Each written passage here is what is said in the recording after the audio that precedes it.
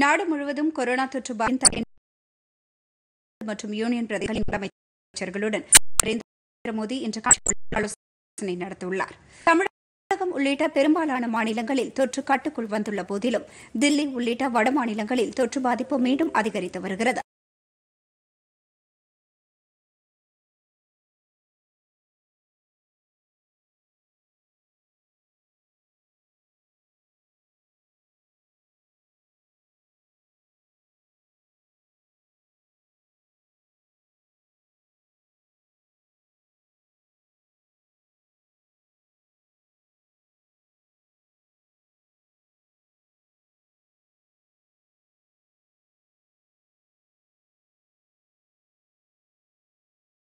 அந்த தகவல்கள் மேலும் தெரிவிக்கின்றன.